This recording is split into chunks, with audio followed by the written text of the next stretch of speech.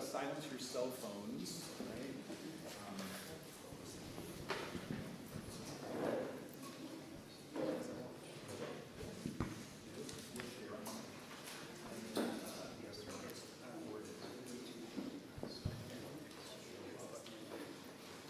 So we are currently um, live on YouTube, uh, like right now, um, just FYI. And we are recording for those of you who are visiting. Um, and then this is uh, archived on our website and our YouTube uh, channel, gallery YouTube channel. Um, just uh, note from my panel here, if you have a microphone under your chair, um, we're going to share. Um, and uh, yeah, and so you give it a little tug and make sure you've got enough enough cord there. And. So we'll hold them close to our chin when we talk. Not out here, but close in. Um, okay, we're, maybe Edgar will show up. Is, Edgar coming? Did anyone speak with Edgar? I thought he would. Okay. Okay, well, maybe he'll walk in and join us um, a little bit later. Um, okay, so without further ado, um, hi, my name is Sean Barnes. I'm the gallery coordinator here at the Leo, Leonor R. Fuller Gallery uh, in the Kenneth J. Minnaert Center for the Arts at South Puget Sound Community College. And you are at the uh, SPSCC uh, Art Faculty and Staff Exhibition. Artist Talk. We're gonna, talk. Um, and uh, before I begin, I just want to remind everyone that we are on indigenous land. South Puget Sound Community College is located on the ancestral lands of the Steh-Chass Band of the Squaxin Island tribe and the Nisqually Indian tribe, who have long been stewards of the region's waters, plants, and animals. The southernmost point of the Salish Sea, these lands were and still are a place of gathering, trade, and community for many Coast Salish peoples. We recognize that all who are not Salish peoples are visitors here, and we commit to join these peoples to share their history, build relationships, increase representation, and restore the living world around us. One of the ways, many ways, that SPSCC honors this, uh, this acknowledgement is through our Native American art exhibition. Uh, this year, uh, the exhibition opens November 13th. It's being curated by Yvonne Peterson, uh, who is Chehalis. And this exhibition will be um, a selection of weavings uh, by Hazel Pete and a few other um, weavers from uh, the Chehalis community. The reception is November 17th, and there will be a talk on a Monday, November 27th at 6 p.m. That'll be, that'll be a real joy. Also, uh, what's happening next after this exhibition uh, is visiting artist Nishiki Sugawara Beda is uh, coming up from Texas. That exhibition opens on October 6th, and there will be a reception and art talk that same night. So that's next Friday, reception and artist talk with Nishiki. Um, all right, so tonight I have great pleasure and honor to be sitting with colleagues and friends here at SPSCC. And I just want to say that I, I'm not sure that we've done anything like, I know we haven't done anything like this um, as I've been in the gallery. Joe would probably have the institutional knowledge about that, but just to get, um, I'm, I'm overjoyed to be sitting here with you guys just to talk about your art and teaching practice, right? And just to have a conversation about that. Um, normally, you know, we're talking about the artwork, but we do something special and extra, I think, as artists and teachers and um, folks that work in the arts. So, um, so I'm hoping that this will, I don't know what's going to happen, right? Most of the time with artist talks, we've, we've got a, a steady banter, but um, I put together some questions that we may just riff on, um, but we'll see where, where this all goes. Um, and so I'm just going to introduce folks real quick. Um, to my immediate left here is Bruce Thompson. Um, Bruce teaches ceramics, drawing, intro to art, printmaking. What else? Is that it? Photography, digital photography, yes. And then we have uh, Michael Gray, uh, film instructor, uh, Krisha Yantis, who's uh, uh, teaching in ceramics, Uh, John, John Brooks is our instructional tech in ceramics and also drawing and painting and printmaking and digital photography. Um, and Liza Brenner uh, teaches painting, art history, drawing, um, anything else? That's, that's pretty much it. And then our Honorable Dean, Melissa Mead, also is here, uh, Humanities Dean, as a writer, accomplished writer and scholar. And then uh, we have Stephen Davis, who teaches digital photography.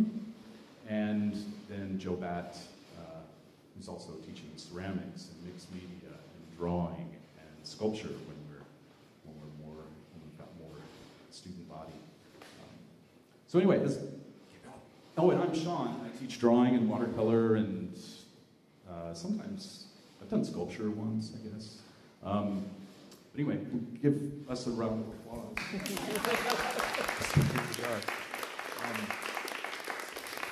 and so the way this uh, usually breaks down, right, we talk for a little while, and then uh, you all can ask us some questions afterwards, and then uh, and then we can just mill about and look at the work and and hang out and, and visit. So, um, but I thought I'd just kick us off with one big question. I don't care who grabs it, um, but somebody please do, so I don't have to call on anyone. Um, and first question is just a real, uh, you know, what what inspired you to become a teacher in the arts? What, whoever wants.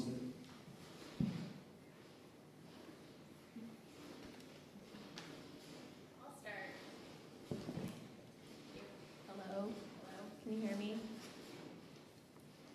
I think for me, what inspired me, fortune, some of it is fortune to be able to be able to teach in the arts, and then a component of it is that what I found my place in the studio, where I was always welcome with my community, and my mentors created a place that made me want to be there and it was kind of a home for myself to feel comfortable.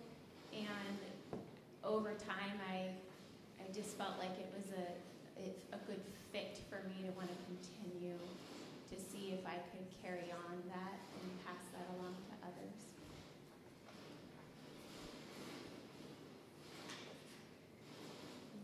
Anybody else? Liza? Sorry.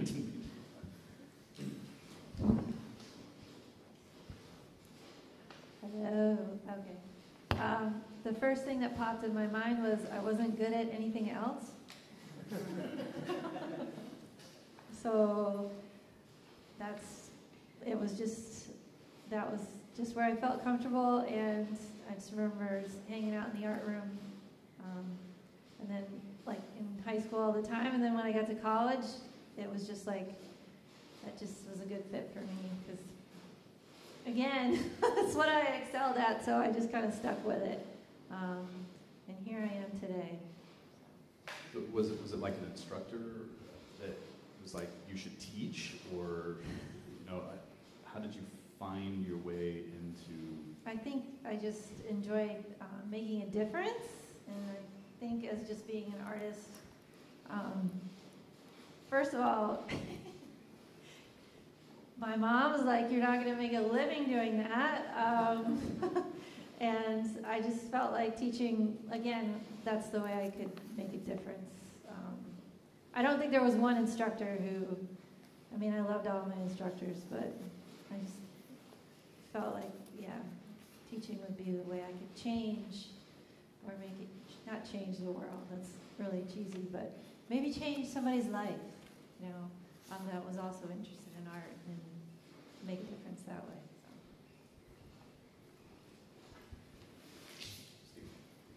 So. Oh, the money. It's really, really good.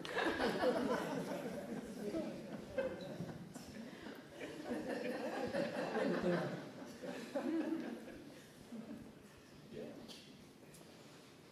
Uh, I was a first generation college student. I went uh, to community college. Uh, you know, I was interested in uh, the healthcare field mostly. Um, wanted to work with people, but I uh, wanted to make money. Um, and I didn't know much about art, but I had to take an art class, like a lot of folks here at South Beach now do. And I was introduced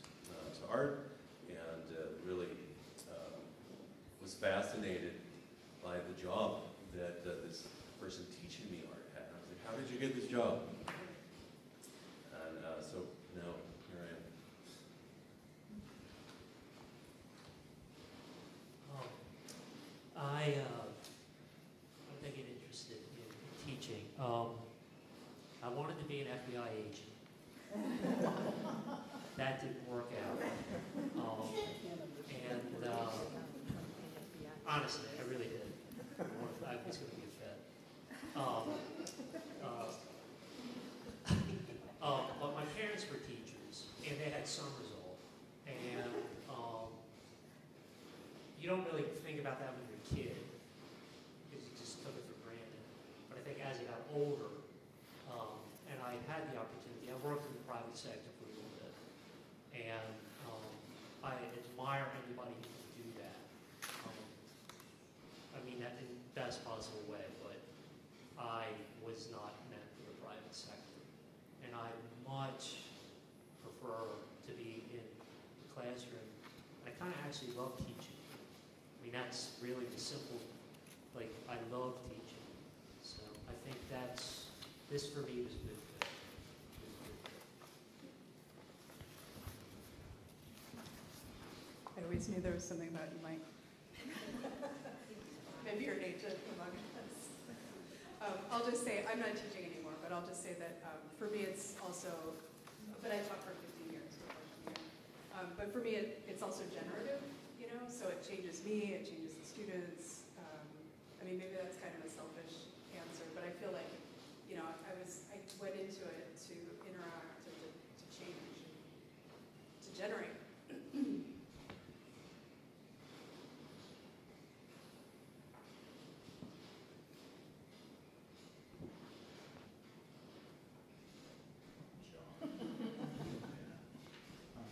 Well, I don't necessarily teach here at SPSCC, um, but I really enjoy um, getting to interact with all the different faculty and all the different students across the different mediums.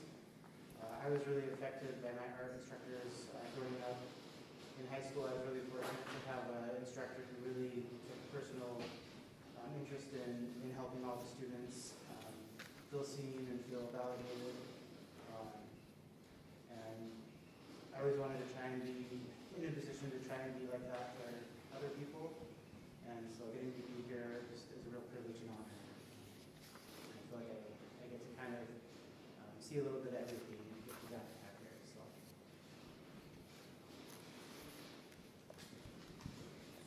So I'll just say real quick, I get asked that question a lot.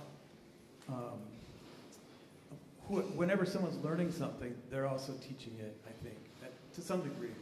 So our students are always teaching each other stuff. And when the, when the classroom's going well, that's happening. And I really like that. Uh, I learn a lot from the students. Hopefully they learn from me, they learn from each other. So when I was a student, I saw this happening and I realized, um, hey, that could be cool. What if I could do that for a living? And, you know, there are some people who feel if you end up teaching that you sort of failed as an artist. There's that kind of thing in there somewhere in our culture. But really early on, I understood, no, that's not really true. that could be a really cool job. So I just felt lucky to be able to find opportunities to do that.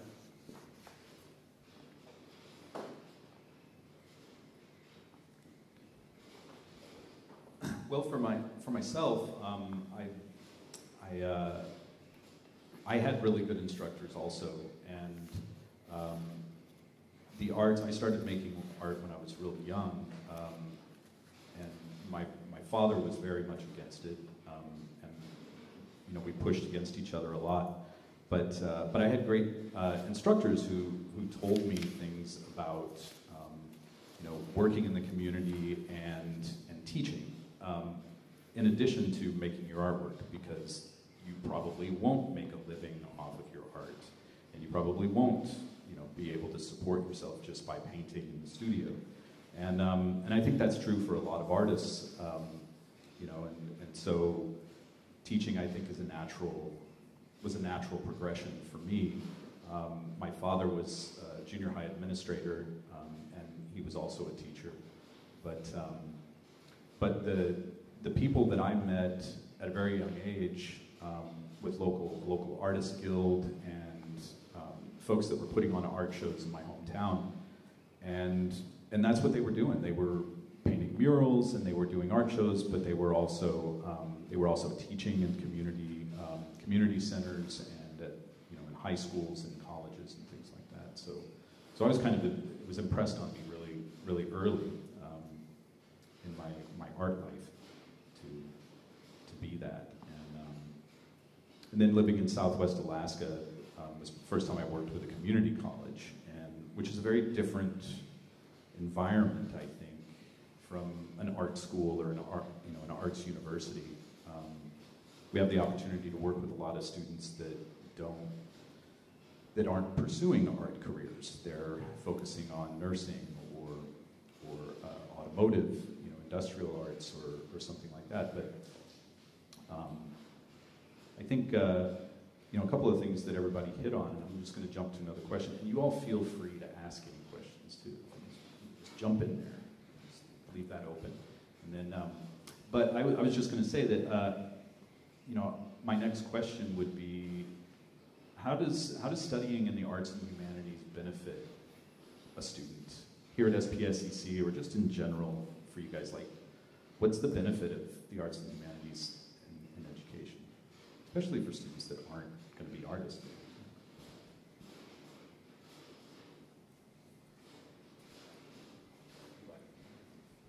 I think it helps uh, in our culture of mass production. Um, everything, you know, you get it for a dollar, you know, or a little less.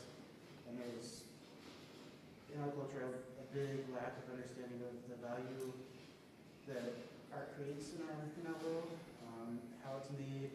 So taking art classes, especially, I think really shows the general public just how much goes into creating something, fabricating something. Um, and so when people are trying to make a living off their art um, out in the world, it really helps uh, if they've had some sort of experience in a classroom uh, where they see how much we go into that versus um, it just being mass produced in the factory. So.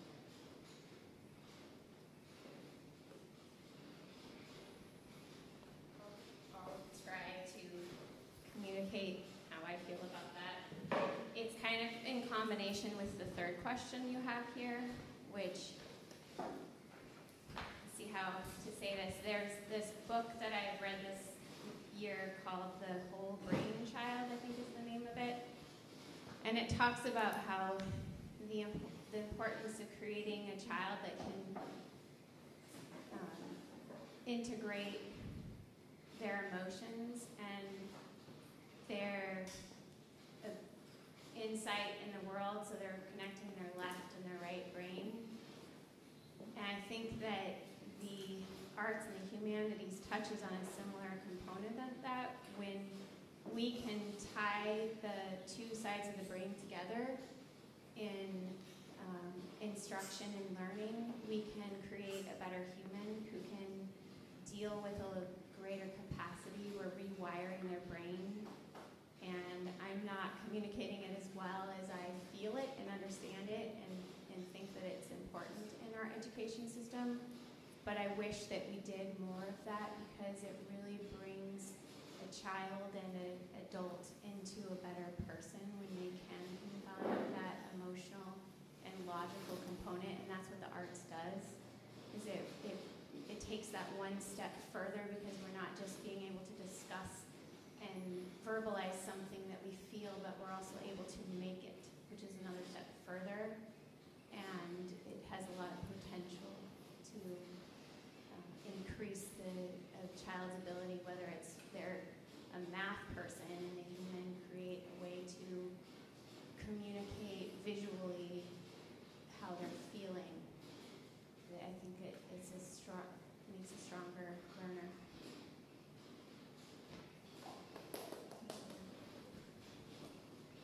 Um, uh, I'm coming at, I guess, this question from a slightly different vantage point. Um, uh, and I would say it's incredibly valuable, number one.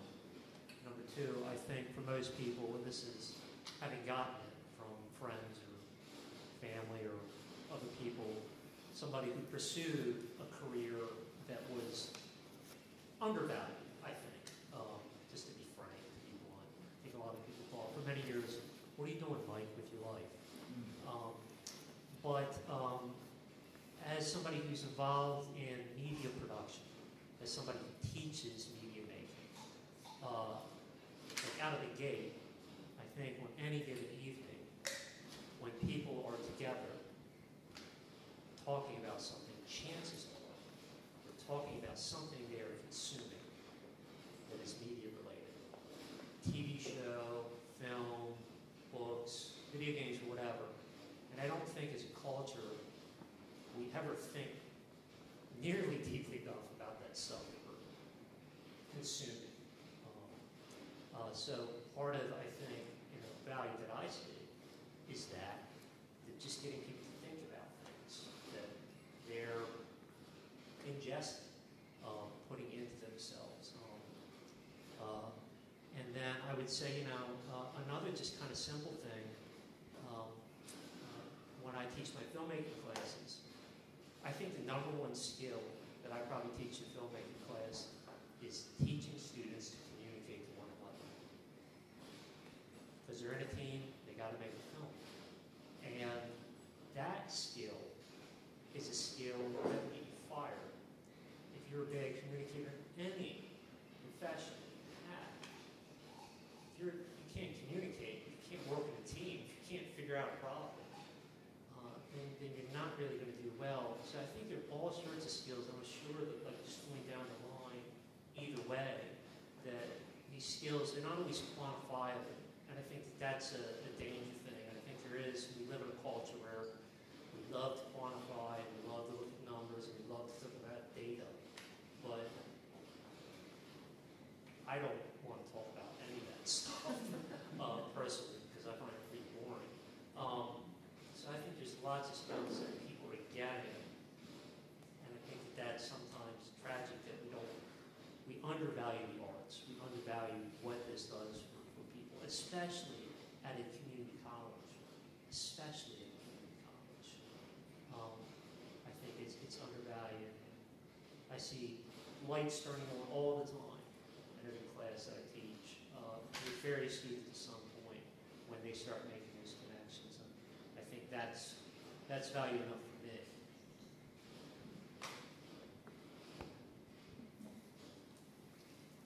Can I follow up on that?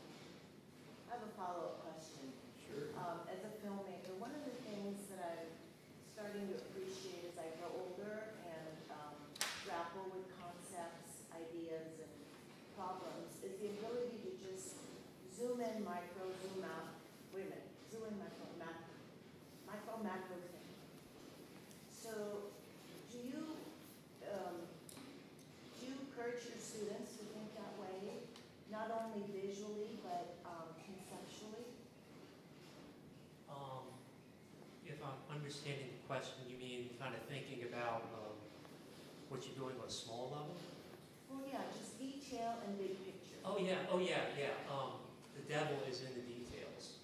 Uh, uh, so yeah, we always have this conversation constantly. It's like what matters is what's in the frame. And if you if you let any aspect of that fall down, you know, it's okay. We're learning.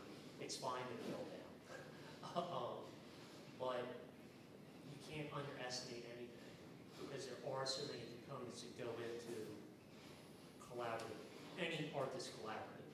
So I think you, know, you have wardrobe, you have camera people, you have technicians, you have all these components, and nothing can fall down if it's going to be really, really good. And if it does fall down, that's fine. That's a, a, a- a lesson. Or that's something that you should think about when you go to your next project. And I know, having made films, um, every film I've ever made, I can see where it falls in. And then you try to get that right the next time. So I don't know if that's we about zooming in and out. Yeah, I mean, I, devil's in the, it's, I think an easier default way of thinking for humans is the detail. I think it takes more sort of discipline to look at the macro vision.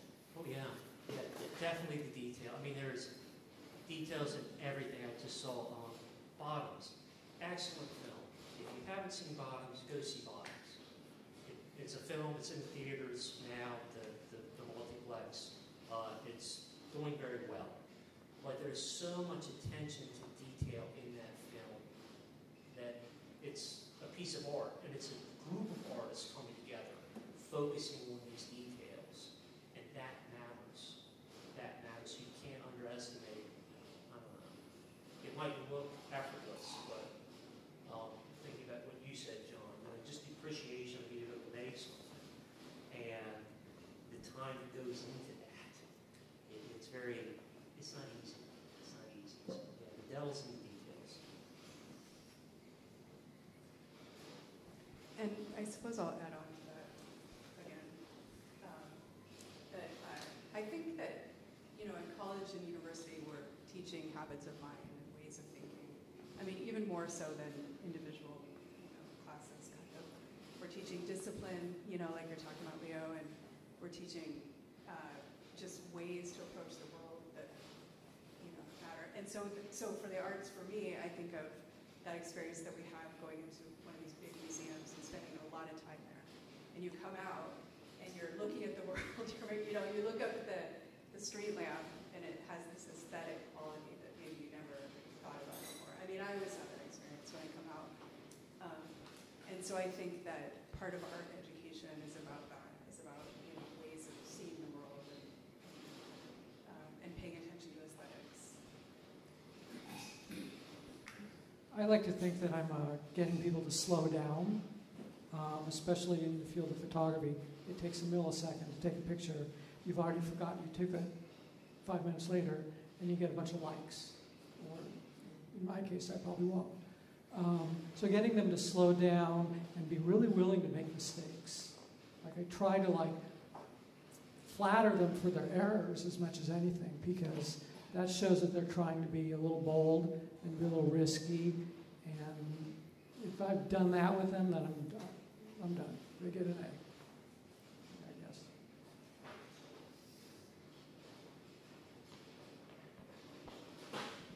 Bueller. Bueller. Uh, I think that students have a challenge with uh, confidence. In, in order for them to be successful in life, they need to be confident in themselves and they need to be able to take some ownership over the world. And, and when they feel that, you know, the world is uh, produced by somebody else and they're behind and they'll never catch up, um, then oftentimes, you know, there's a self-defeating aspect to that. And so, you know, one of the things that we talked about was that idea of the qualitative assessment um, of looking at work. We do critiques, and students uh, get an opportunity to share uh, something that they have done, something that they have created, and in group environments, um, you know, uh, folks start to build confidence. They build confidence in speaking in a group, um, and they build confidence in what they can produce. And, and I think that is serves them uh, for a lifetime and uh, in, in many other areas.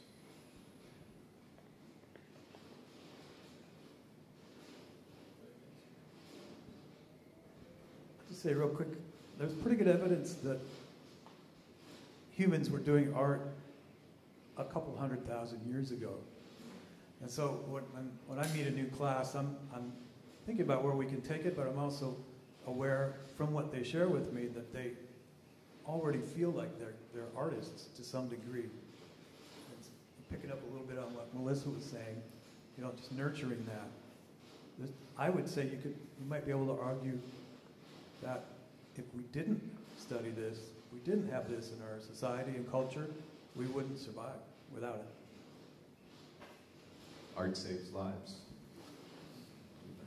Um, I, I think, um, you know, kind of riffing off, especially what Krisha said, you know, that, um, but we, with students, there's, we've got this, um, we've got a craft and a practice, and we're working with material, and then we have the concepts, and, you know, often there's some history to it. And in the studio arts, there, there's a kind of a learning to learn and learning how to teach yourself um, how to navigate problems that kind of that goes beyond i think um, some other disciplines because there's a step-by-step process and so you can learn these um, these skill sets that, that I think valuable in life and, and passing on that information. Um, like Joe says, you know, we're a part of a much bigger story. Um, I also agree with, with Steve about slowing slowing things down. I mean, I think that's one of the one of the uh, kind of the overarching um, ideas about higher education is to slow your thinking. And as a studio artist teaching drawing, um, you know, teaching students how to see differently and see and see the world in a different way, and to slow their looking, um, especially nowadays. I think it's imperative for us to to spend more quality time just being with something and studying its edges and its textures and and I think sometimes just that that meditative practice for for students um, is is vital um, in life, especially for young students. Anybody else? Yeah. Why is it important? Why the hell do we do this?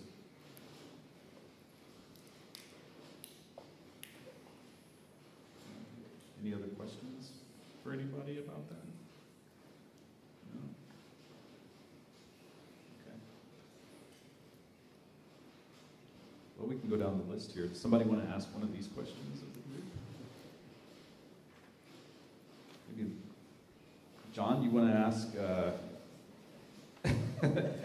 ask number eight of the group. We'll do that. The million dollar question. How do you find a balance between creative output and technical proficiency in the classroom? Yeah, how do you find that balance between creative output and technical proficiency? My, my strategy always is a broken clock is right twice a day. That's my approach. What do you mean by that? I just keep throwing stuff at the wall. There are two broken clocks in the ceramic studio. That's true. As, as we speak, there are two broken clocks. Can you clarify the question? I'm- I'm curious, is that the creative output of the students and technical proficiency, or is that the creative output of the faculty member? Um, if you want to speak for either, uh, it's, it's fine.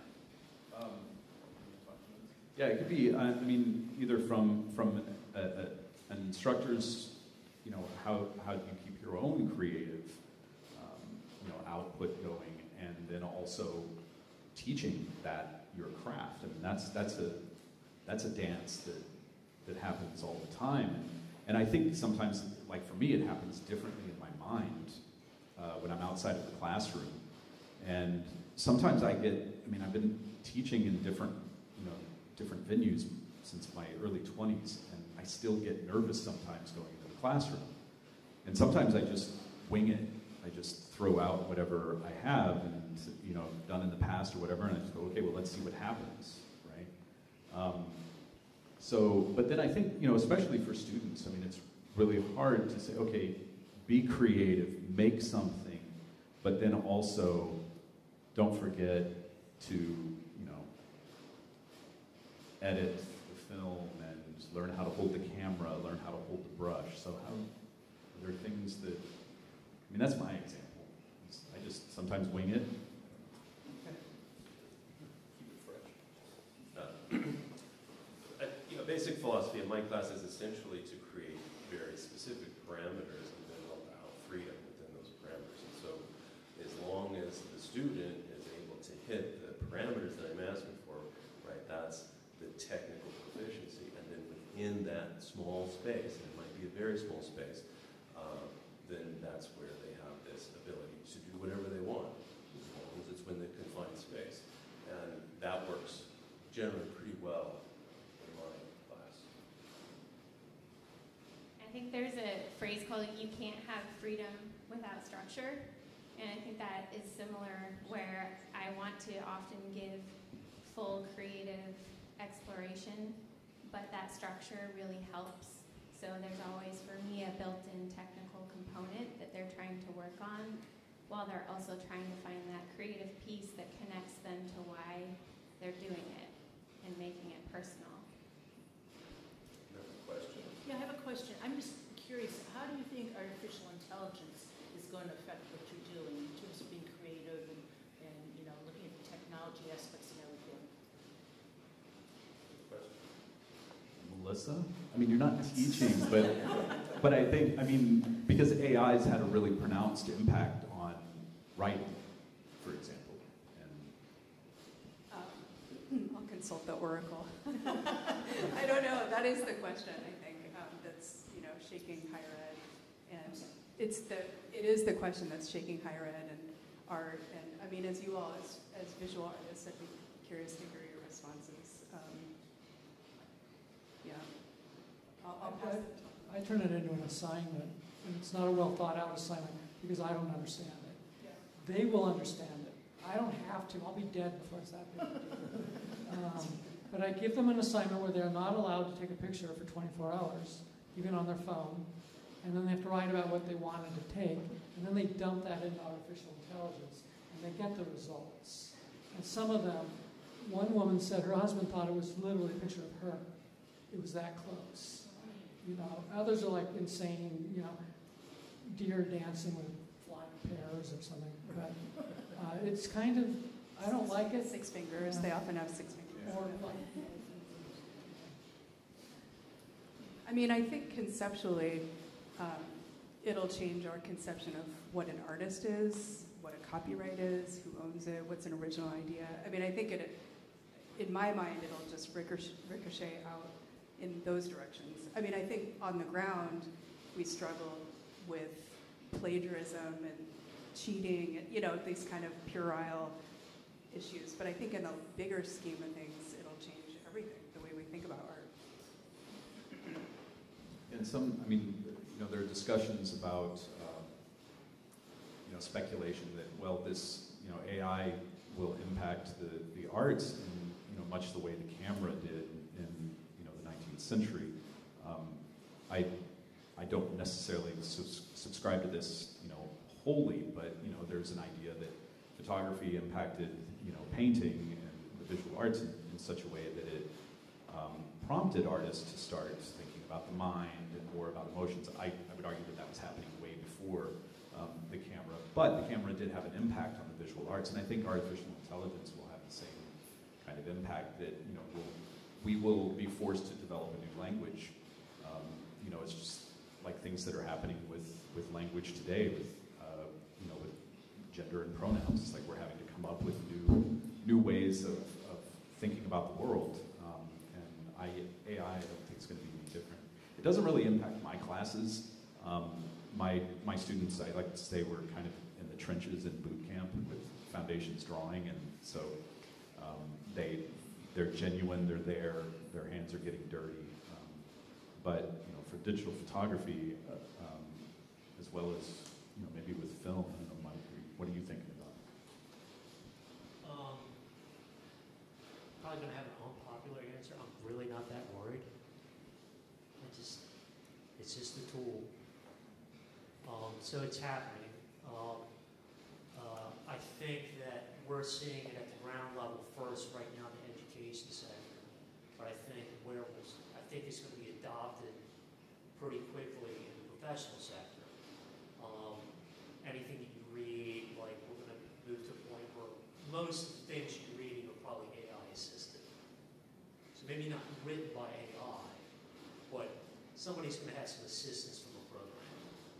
Um, so, I don't know. I'm, but in the end, it's just a tool. Um, we're not at the singularity yet. um, like that hasn't happened. I don't see that coming. I do see in film and video, one thing that is happening now is that they use AI to edit. So if you have like, um, and this is more like the industrial film making level, if you're just making a video, a corporate video, um, where it's just some talking heads and B-roll, and you're in a very set uh, or very tight uh, set of time constraints, you might use that AI to, to, to edit for you. Um, and then go in and do some minor cleanup. But I just don't see it as this, I mean, even in my, my classes where students are using ask them, it's like, well, what are you doing? You know, like I probably know. I, I might not say anything because it might not be the battle I want to fight that day, but I kind of know it. I spot it because it reads like W. Uh, it doesn't make any sense, and you're not really. Is that how you want to learn? Is that how you want to use this? But I don't think it's good or bad. I think it's just a thing um, that's happening, much like the smartphone. And we do as a culture tend to want to, and film, same thing. Film came around, people was like, oh, this is, it's over. film is evil. Hollywood Babylon. you know? Well, Mike, what do you make of the, uh, the Hollywood strike on that note? I mean, you know, because they all walked out for this stuff. I- You you mean them using AI to replace? Yeah, gonna the screenwriters. It's and- not because people are smarter than that. Like that's that's where creativity comes in. Like I think that there will be a place. I mean, your example, using having students use this and understand it. That is the world they will inherit.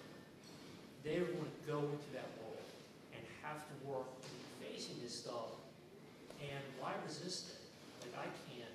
This is beyond me.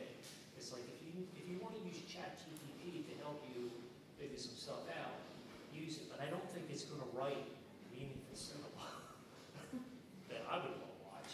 Uh, it's just not there, and I don't see it being there in our lifetimes.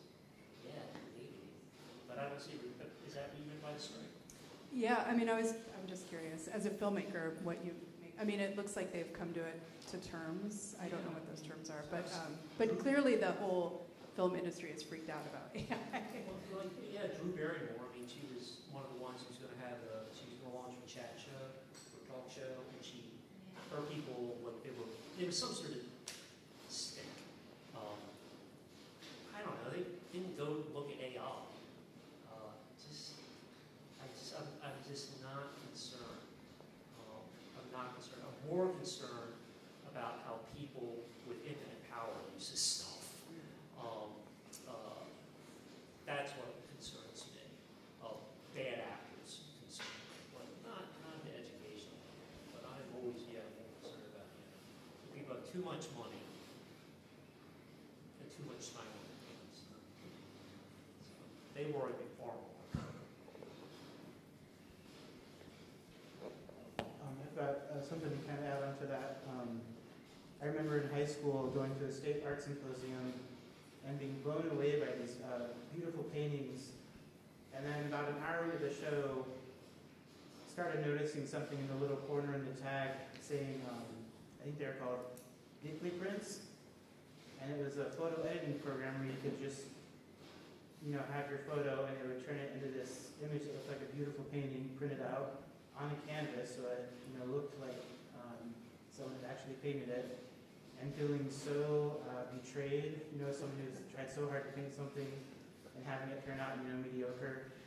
Um, but again, I think it's just another tool. You know, I think people were really freaked out when Photoshop came out, um, and now that's like our basic um, tool that we use every day. Um, you know, same in I think a lot of our mediums new technology comes out, I remember the thing with 3D printers, it being a huge, oh, it's going to replace making things, and now it's become just another standard tool uh, being used to create things. So I can definitely see, especially in writing and other things, how it could be a concern with some things, but I think ultimately it'll just be a tool I'll just jump in a little bit on that. This topic comes up a lot lately. I think one of the reasons is- because we're all kind of morbidly fascinated by it, and we're also afraid of it.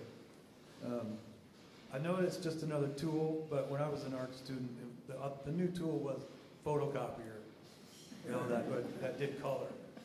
Um, I think about uh, what we've got with technology and media, think about it like, well, when the airplane was new, how that changed things.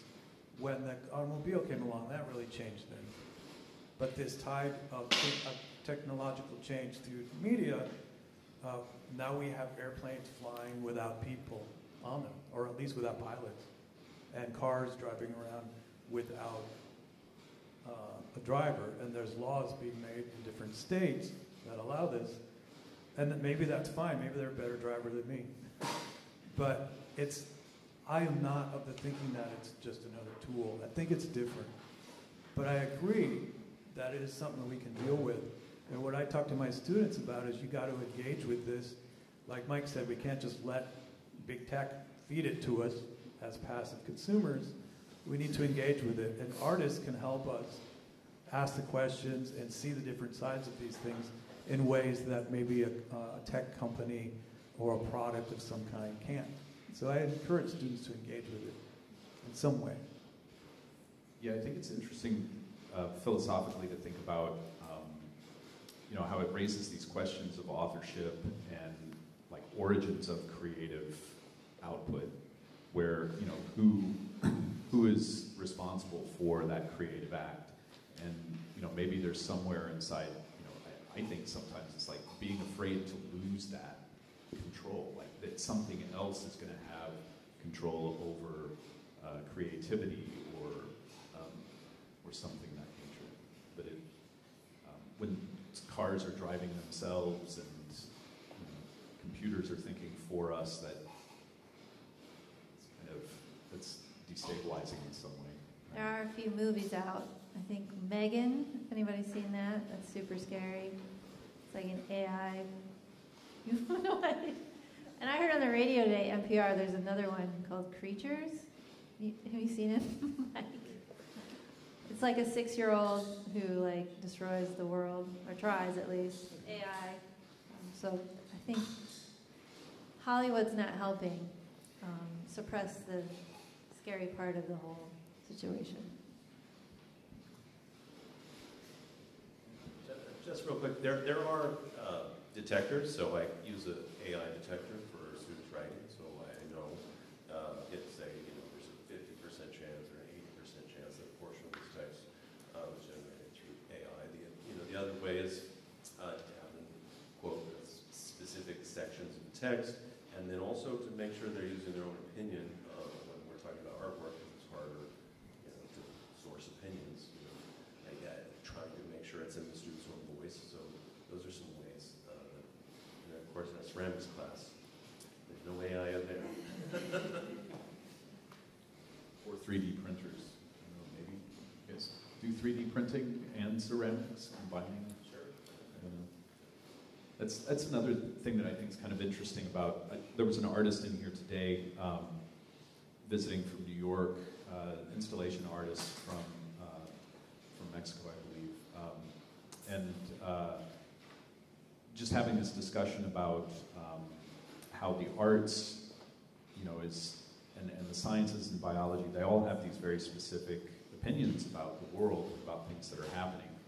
Um, and, and art should have a seat at the table also, having these conversations. And I think art, AI is really bringing a lot of these artistic disciplines and the humanities into a broader discussion with science um, too. But I think, I think the arts also has the, the flexibility and, and, the, and the scope to embrace these technologies. Like Steve was saying, it's just like, well, why fight it? You know, it's like, let's make it an assignment. Let's, let's bring it in and, and try to try to work with this thing and see what can come out of it. And, um, and I think that's really important for students and, and also us, you know, as teachers to be like, oh, okay, here's this new thing. And like you said, let them, you know, because it's a two, it's, it's an exchange and a dialogue teaching. It's not just a one-sided,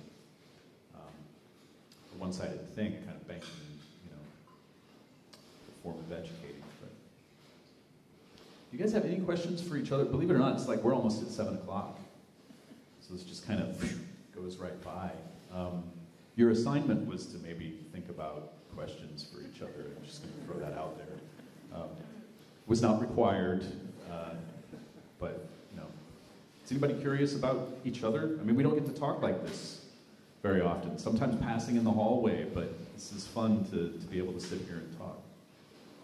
Anyone? How do you know you had a successful course? hey, at the end of the class, how do you know it went well, how do you measure that? Sometimes I walk away feeling like, oh, it didn't go so well.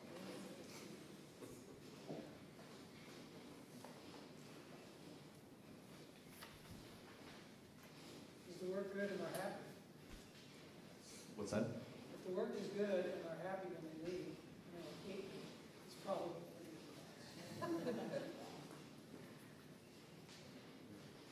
Well, sometimes there's a lag time. I'll just say that. So I'm not I'm not teaching here again, but um, but I used to teach gender studies, and when the Barbie and we always had a Barbie unit.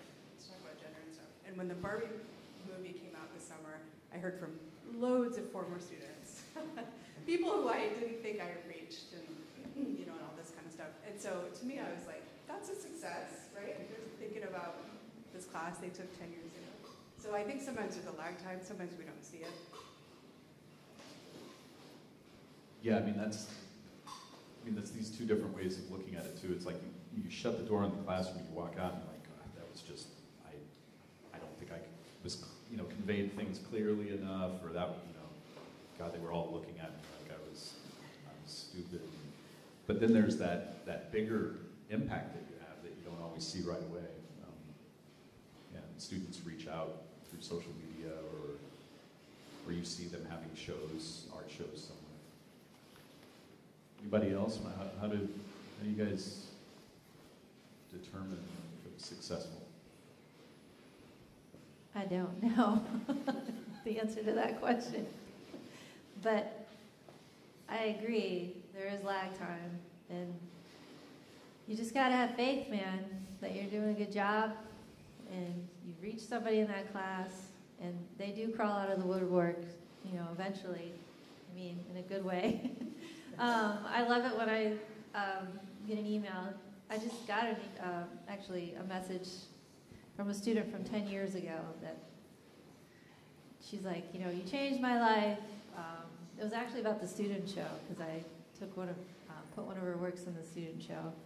Um, and she's like, ever since then, you know, that was such had such an impact on me, and I continue to paint. She's painting fishing fishing lures, um, which is brilliant. I think um, they're like portraits of fishing lures.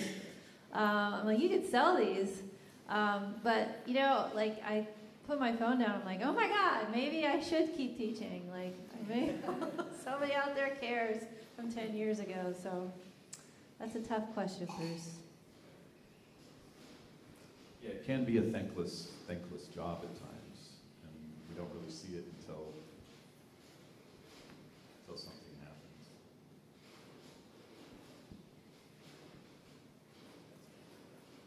Anybody want to share anything else? Does Edgar want to join us? Oh, hi, Edgar. Edgar has paintings over there on the, the small.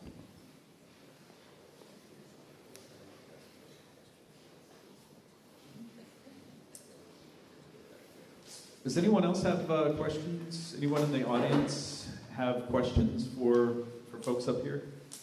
Should we start with question one for uh, Let's start over.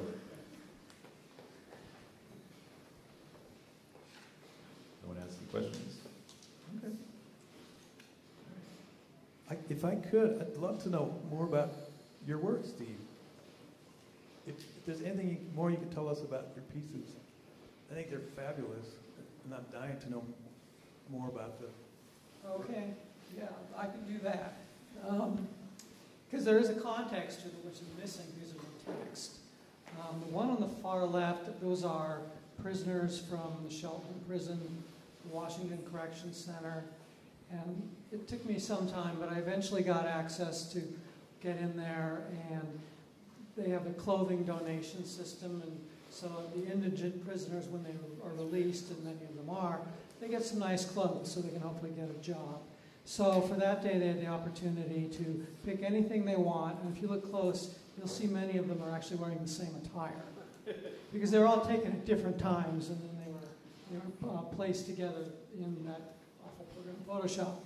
Um, so, and it was quite an experience. I sent them all pictures. They got pictures of themselves. Um, some were almost in tears because they hadn't been in civilian clothes since they were locked up, which was many years for some of them. And then these six here are portraits taken at the uh, Olympia Union Gospel Mission. Um, some are staff and some are not. Um, and there's really no backstory to Well, actually, I asked them to write a little something, and some of them did. So there were some text narratives that go along with them. Um, and I do a lot of portraits that tend to deal with people that are sort of hidden. So I've done a lot with prisons and juvenile incarceration and um, mental disabilities and things like that. Thank you, appreciate it. Thank you. Yeah, it's a great expression of, you know, just being an artist, being an educator, being a part of the community, you know, and how all those things just kind of overlap and coalesce and it's cool. It's good. Well, Edgar, your paintings are hilarious. And so I'd love to hear more about them. Anything particular you would like to know about? Well, what, what inspired Bill Gates and Yeah, you recognize it, okay. Um, I, I guess they're not, they're, they're loosely tied together, I suppose. Um, I think primarily my um, angle for these or trajectory was um, um, picking up powerful, just generally. Um, and um, just questioning the notion of wealth disparity and, and how it, that uh, kind of infiltrates um, so many parts of our culture. And I like to deal with those kinds of subjects that are, that are serious um, um, and in, introduce or interject humor. Sorry, I've got uh, something in my throat. But anyway, um, interject humor so that they're not quite so heavy when, you know, when you encounter them. And I think the small scale helps with that too. Um, you're not blasted with, with an idea, um, and overwhelmed by it, and have to bring yourself into it. I suppose that's one of the, my approaches to these. Yeah. What else have to say about that? Any other questions Thank- about that? No, thank you. That's great. That's great. I really like that. Thank you.